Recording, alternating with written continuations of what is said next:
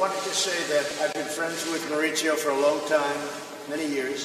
People would know that he was a very young man, very handsome man, and uh, we knew each other very well. And I actually did business with his family, with his father, his great father. He was a friend of mine. And I purchased the West Side Railroad yards. And it was a great job, a successful job, a very big job, one of the largest jobs in Manhattan. That was in my civilian days. And so I always had fond memories. Little did I know that his son would become El Presidente. Little did I realize that we were going to be.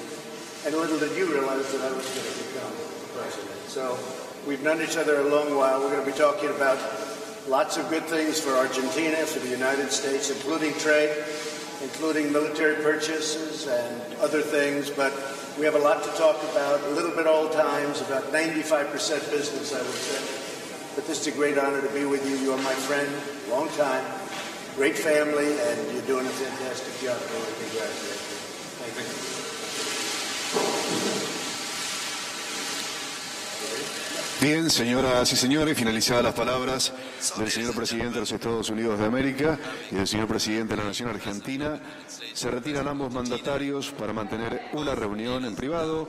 A todos muchas gracias por vuestra presencia.